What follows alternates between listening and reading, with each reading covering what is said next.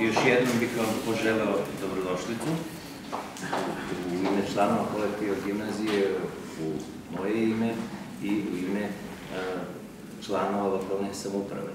E, drago mi je da se opet vidimo i drago mi je da, da ova saradnja sa gimnazijom, odnosno srednjom školom 644 iz Sankt Peterburga traje.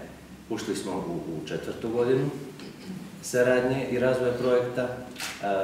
Siguran sam da ćete se lepo provesti u našem gradu, da ćete puno toga naučiti e, i da će ova saradnja trajati dugo. E, moram da napomenem da realizacija ove saradnje u ogromnoj mjeri upravo zavisi i od podrške lokalne samouprave.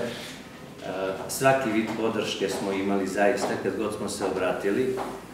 Naravno da je najveći problem u ova teška vremena su u stvari financije i uvek nam je opština izlazila u susret i podržavala ovakve projekte.